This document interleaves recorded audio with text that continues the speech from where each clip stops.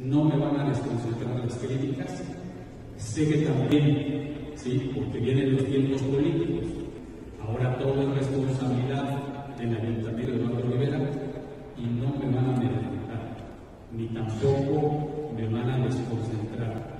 Vamos a seguir trabajando de manera cuidadosa, delicada, quitando la escaramuza política como esa que se menciona de descalificaciones de determinados actores y vamos a seguir siendo responsables con ustedes, los medios de comunicación y con los ciudadanos.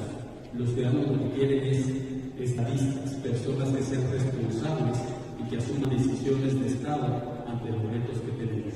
Y eso seguirá habiendo